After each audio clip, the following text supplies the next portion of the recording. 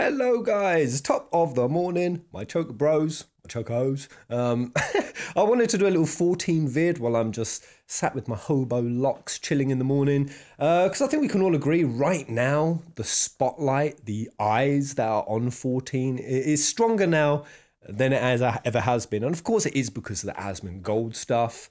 Um, know him coming over, and I'm sure most of you are sick to the back teeth of hearing about him. And I've just had some really conflicting thoughts about it because it's not just Asmongold coming over, it's other huge streamers, Bellular and probably way more. Uh, and I think we can even see it in the 14 um, data. We recently topped its highest login. I think it was 57,000 concurrent people playing, up from its previous high of 52. You know, and that's that's coming in from like new expansion releases so the fact we're in this like this middle area, Endwalkers isn't even out, and we've topped it, that is crazy, crazy, and and it really backs up what I thought was like a subjective, anecdotal experience because you know El Ginge is now playing. He's clonking his way through ARR. But on top of him, I've had five, six um, friends also started playing it. I've had even more today. I'm of, of course making this up. I don't have that many friends, but acquaintances that I'm aware of, some of them from previous WoW days, um, some long lost friends from school who typically, I mean, I didn't even think they were into MMOs. And they're now talking about 14, asking me if it's good, if it's hype, should I play it? And I think what we're seeing also with Asmongold coming over is a lot more discussion on the community. And I think a testing on the WoW 14 rivalry. And it's kind of what pisses me off a little bit about it because I think there's so much focus and energy being put into what's WoW like as a game? What's 14? The rivalry between it. That community is, you know, WoWs are toxically negative and they wear their toxic negativity on their sleeve, whereas 14 players are toxically positive and they try to act all positive and that we're a great community and then you know, behind the scenes on Discord, they're bitching and they're some of the most assholey people out there. So I, I, get both sides, and that's the thing. I kind of feel feel like when it comes to that side, not only is it just a gross exaggeration, um, and it really is a gross exaggeration that either community is one or the other, um, and, and I just especially see it with what's happening with Asmongold lately. It's funny he's come in and he's played it. Of course, he got swarmed, and this is the thing. I, I don't know why everyone is so shocked by this. Like we got some article saying huge Twitch streamers' first experience of 14 ends in complete chaos, totally ruined. Awful experience. The 14 community have exposed themselves for being a bunch of toxic swarmers. Uh, and of course, that's a bunch of bullshit as well. I mean, Asmon coming over was always going to have that effect. I mean, he's the largest streamer in the world. He had 200,000 people watching his stream. Any notion that he wasn't going to get that kind of introduction to the game, nonsense. And that's the thing, I think a lot of it was just obviously people just wanting to be on a stream. I have a tiny stream and I have an FC of people who want to hop in front of me while I'm doing a quest and play their loot or something and just act like a little bit of a goblin.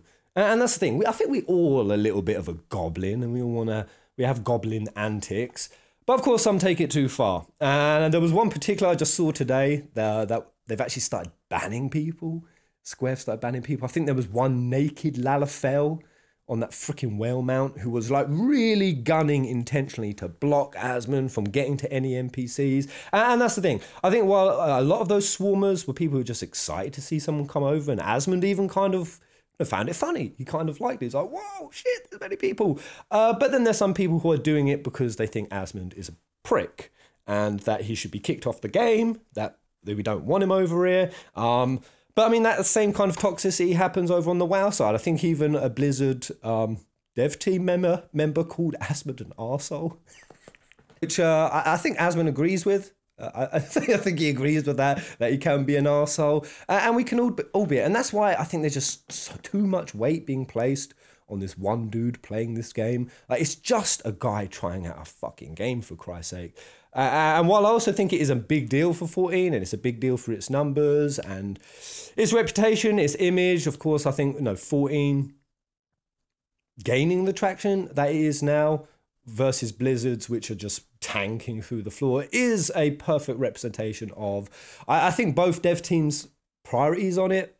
The 14 team are utterly dedicated. They want to make the best game possible. They really are in it for the fans. That is one thing I have no doubt. I think none of us have any doubt on that. I, I think even after the Soken show and the way that Soken and Yoshi P, you know, they planned to announce that that cancer news and to have that kind of courage to lay yourself that openly to your players. I, I really think that's how close they've become. It really does feel like the 14 team care and, kind of see the players like their family.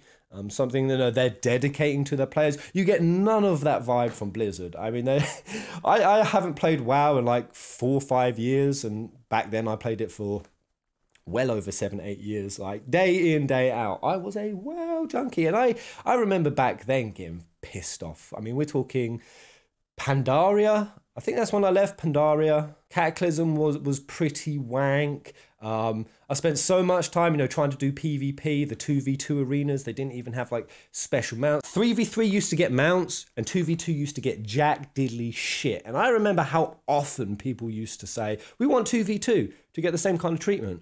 And just year after year after year, Blizzard just did not listen. And I think we even see that with the interactions between these big streamers. Like, like here we are with like Zepla for 14 and Square now given her a platform. They're like, yeah, you can come stream on 14's channel. Um, whereas Asmon and many of the other WoW streamers said that, that Blizzard didn't even acknowledge their existence. And in fact, they're acknowledging it more now that they're leaving and doing it by kind of being salty little assholes and, well, yeah, literally calling them assholes. But to me, I think while all of that nonsense and ridiculousness is floating out in the ether, and, and that's really what it is, it's just a bunch of stupid bullshit that is not is not reflective of the majority of the community. It's still taking the main narrative. And just looking at the articles, like it proved it to me when, yeah, you've got one article saying Asmon's stream ended in chaos. The other one saying Asmongold thinks 14 is the best game he's ever played. He's now entirely 100% in the 14 camp and WoW's dead. Like, why can no one just make a fucking, like, just a middle road, a middle road commentary? Yeah, he went on there, there were some swarmers, but the dude enjoyed it. The dude's just playing a freaking game. Let's see how he does. And uh, that inability to be nuanced, I just see it in everything. I, especially, have you guys noticed? This is the thing that's really bugging my brain. You ever go on like YouTube vids or even just Facebook posts or something like they'll be posting something I don't know about pandas or someone who did something amazing for charity, and I'll always see the top comment as someone who's basically trying to be a toxically positive moral high grounder. And what, what I mean by that is I so often see the top comment being, how can anyone laugh at these pandas, these this this panda charity is trying so hard at the fact that people don't care. What's the world coming to? Or some kid with a disability overcoming adversity, and the top comment being, I can't believe people would laugh and mock at this person. What's wrong with the world? We're all a bunch of pricks.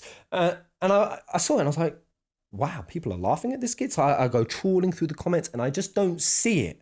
I just don't see people saying half of this shit people always kind of make the narrative that they are. Now, yeah, I'm not saying that there wasn't somebody in that chat who was making fun of this kid in this example, but it must have been just a few. And what I'm saying is just a few people being toxic, assholes, just being goblins. They're just sad, lonely, pathetic individuals who will just try to garner attention and drama and trigger people in any way they possibly can. Yeah, they definitely exist, but I think the counter narrative is almost just as bad. I, I kind of see it as uh, just the same kind of extreme. I love the old Hermetic saying that all extremes are equal and identical in nature, they're just different in degree.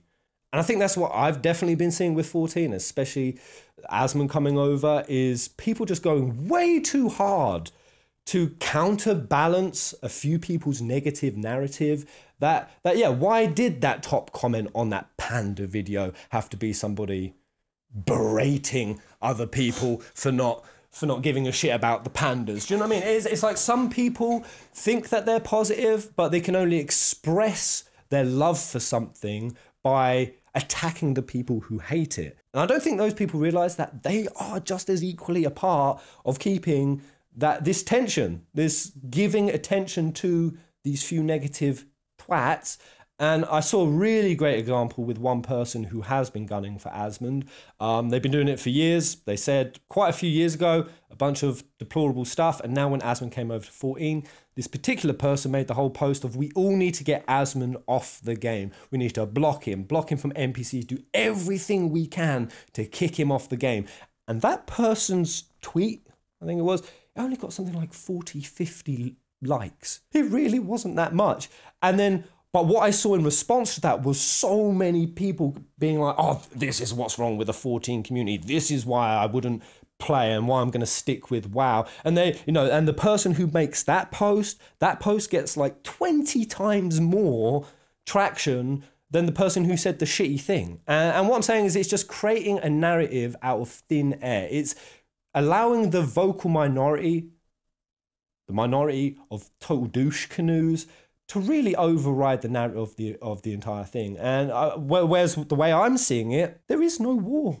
The war is over. It doesn't need to be a battle anymore. We've got loads of WoW players who are now coming over to 14 and realizing, wow, this is really freaking cool. We got Yoshi P talk about how much WoW inspired them and that we wouldn't have 14 as we know it if the team hadn't taken inspirations from WoW, you know, then the WoW team sending stuff over to Yoshi to say congratulations. It, it's like, where is the war still raging from? Why, why does it still freaking exist? And that's the thing. I think the people still trying to keep that war in place. They're having to go to the most desperate lengths to do it. Now, what what really got me with with Asmongold's community, especially when I thought he wouldn't enjoy 14 other than it being a weeb game, a freaking weeb game. It's got cat girls and bunny girls, and only a bunch of prepubescent betas could ever possibly enjoy something like that. Which to me is always hilarious. It just shows your insecurity. Like, why do you feel so insecure about a bunny girl? Uh, bunny girls are freaking great. I love seeing a bunny girl. Why the fuck not? Like, are you really that sensitive and touchy to, to what really amounts to just an aesthetic design choice in the game. It's, it's not like 14, no, then mimics like a really chibi, chirpy, anime ish. Oh, let's go collect all the waifus. And I'm just playing this game to ogle cat titties and, and get married. And, uh, and it's not like that. The game's not like that. And anyone who sticks with it is going to know no, 14 actually brings the feel. It's actually pretty deep, it's pretty dark. It, it does. It goes into philosophy and it's very thought provoking. And I, I think that's what is going to be the hardest transition from WoW players to 14. You know, we're going from a predominantly gameplay and mechanical and mount collecting and extreme raids and a very gameplay based experience to a story based experience. And that transition, I, I, really didn't think Asmongold would make it because he typically skips story. He typically doesn't like it. But honestly, after watching his stream, you know, and he's just sort of skipping through the dialogue. He's not reading everything line by line, but he's perusing through it. He's getting a sense of it. And and funnily enough, interacting with it really well. Way, way, way more than I was expecting. Um, and, and, it seems like there's actually hope for him enjoying this game if people can just chill the fuck out. I mean, the whole swarming thing can be dealt because I think you can go incognito in the game. So, I mean, he just needs to do that. But what really I found amusing, especially with Asmon and his community, or should I say maybe more his community, you know, being so standoffish about 14 and trying to put it down based on those like cliche tropes of it being a weeby game. And then the second Asmon comes in, he's posting himself with bunny girls, he's checking out cat titties, he was literally checking out the, the boob meter, how high it would go. Goes into the game, I think he started in Gridania, so I, I think he meets Y'shtola first, and he's joking about Y'shtola being his wife, and, can we get married? and he loves her. And the thing, he's all doing it satire and tongue in cheek, but that's how it starts, and that that is still how it even is for me now. It's just fun. It's like I don't actually have a fetish of a girl with a freaking tail and cat ears. I mean, maybe I do. I don't know. I don't know. I, will have to be in the situation to really know. But maybe I have developed that taste because of 14. but what I'm saying is, like, I even I go at a lot of it with like tongue in cheek kind of joke and satire. Or what I wouldn't do to get some of those Viera feet and just pop them digits into my mouth. Like it does. It starts as a bit of like a humorous satire, and you just you just carry that. And what you find is just like I'm sure most of us who started with anime. I mean, when I first played Ten Two, I nearly puked. I nearly freaking puked. YRP in position, not for me. This is weird and cheesy and girly as fuck. And we will start that with anime, but but once you just get past that like really stupid impression, I didn't even play FF9.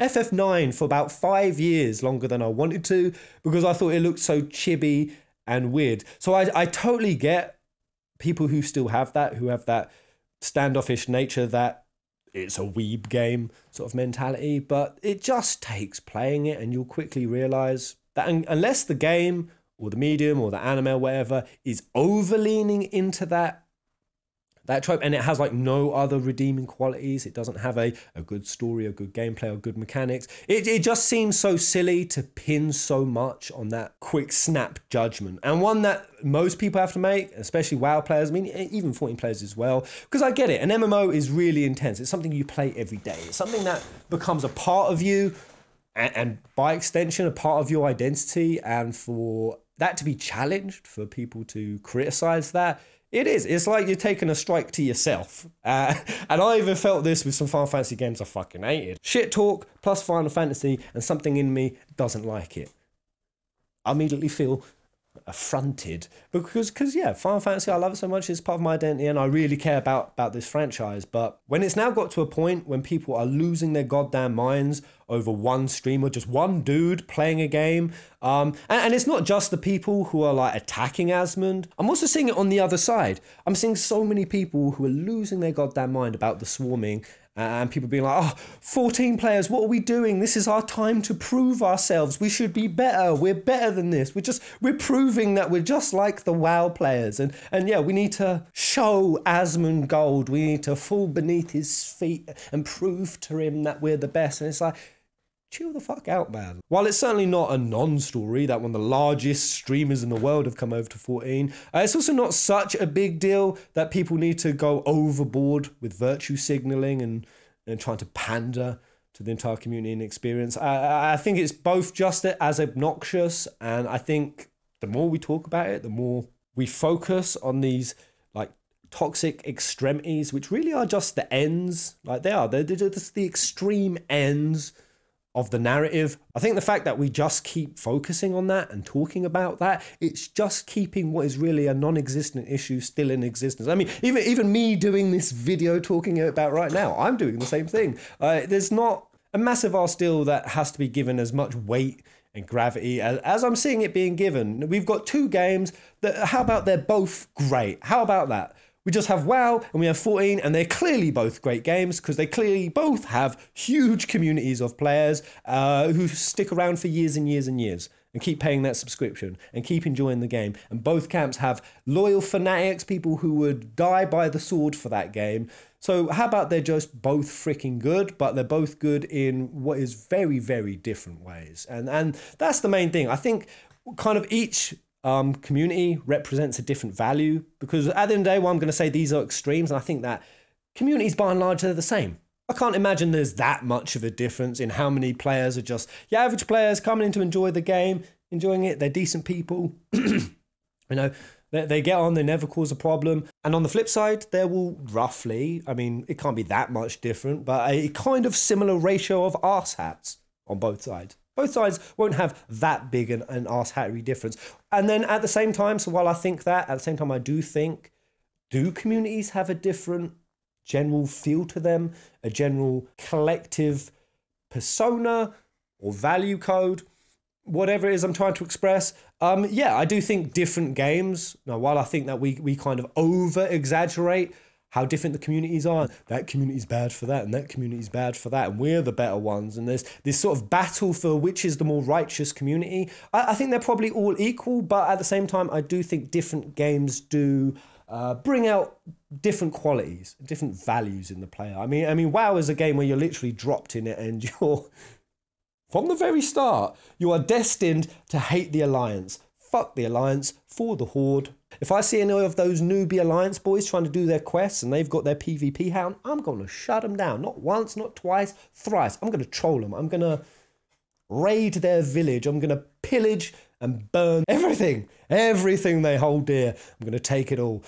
So it does, it does foster that. And, and then on the flip side, you might have 14, which again, it kind of does have these unspoken rules. There's way more unspoken rules in 14, sort of like codes of ethics and decency that a lot of players abide by because it's a game that I get the sense is more community driven and feels driven. I think that's reflective of the story and the kind of feeling that 14 uh, is trying to elicit in its players.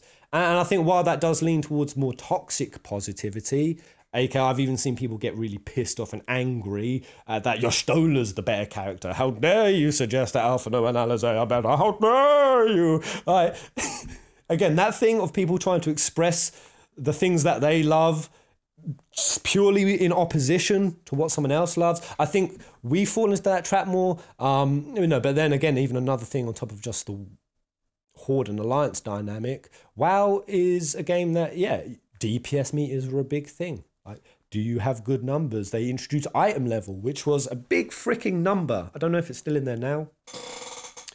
It was just coming around um, in the last expansion I played, or the last two where you would really have your item level like shown, and even certain dungeons of rage you could not get in without a certain item level. And that was set very strongly by Blizzard, but but then the community took it even further, where you would literally get kicked if your DPS wasn't at a certain meter, if your item level wasn't a certain thing. And these sort of metrics and numbers that I've seen, of course, the 14 team really not put a focus into. In fact, they, they've actively discouraged it. So so yeah, there are there are different communities Different games do inspire different traits. You know, they do expose both the better sides and the worse sides of different people. And I think that's the main thing. Like when people say whether they prefer 14's community or WoW's, I think it just depends what what your personal value system is. I think it's even similar to like left or right wing politics. You know, right wings will typically like the more honest, realistic, upfront I'm going to say it as it is.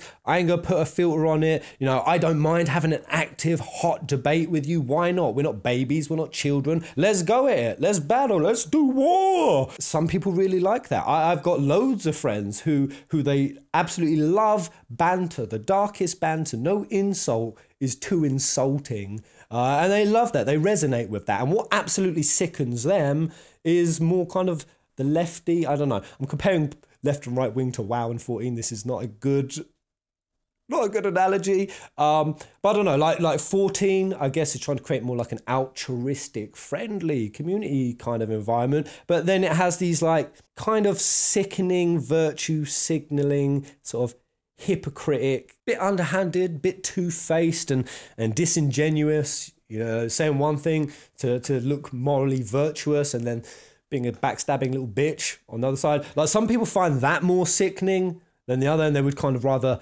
align with that vibe. Like, like toxic people exist, and they're going to align with what community reflects the toxicity that they like to put out. And I think that's all that's left of the rivalry. That is all that is remaining. These are just social optics. These are just the optics from the community that is massively exaggerated. It's massively exaggerated by the media. Again, when when you can have some news story saying that Asmonplaying was the best thing in the world and he loves it, and then on the flip side saying it was an absolute disaster, it's it's basically a narrative buffet. The internet will provide every narrative under the sun, and you can go and pick the one that you like. But goddamn though, Asmon made 30 grand on his first 14 stream.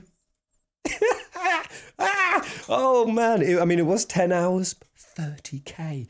Shit the bed, man. Anyway, what, what do you guys think?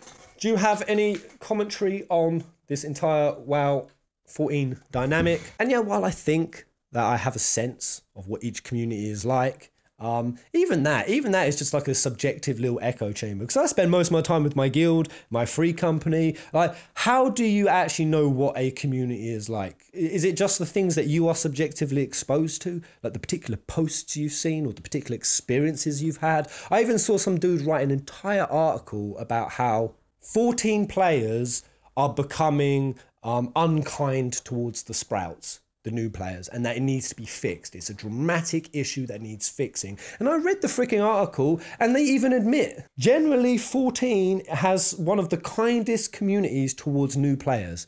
That everything that the devs have done have done it so that you know, sprouts don't just get shat on, they don't get thrown into really hostile, you know, DPS and healing meter, checking environments that WoW can throw its new players into, and that can be really toxic. And yeah, this person I'm talking about who wrote the article, they said that generally they thought 14 was good like that. And then they come across one Dragoon in a dungeon. So they did a dungeon run. There were two sprouts, a Dragoon in them. And apparently the Dragoon was roasting on the sprouts the entire dungeon. They were intentionally pulling stuff, intentionally trying to get them killed, verbally abusing them the whole time.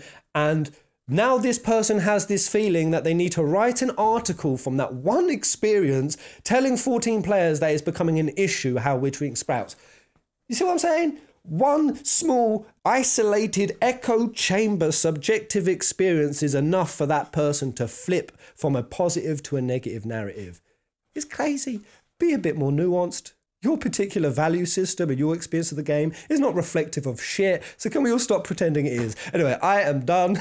Thank you for listening to my early morning rambles. And yeah, that tick, that 100k tick, that verification is coming. I'm about 600 subs away. So if you want some more rambly content like this, that's less edited and just more on the fly with the topics that come up, hit that subscribe, hit that like, let me know, and I'll see you on the next video. Kupo! Fuck me, it's raining. Oh, holy hell. Is it really July? Jeez! Look at it! Look at it. Good old English weather. Can you even see the rain? Probably not.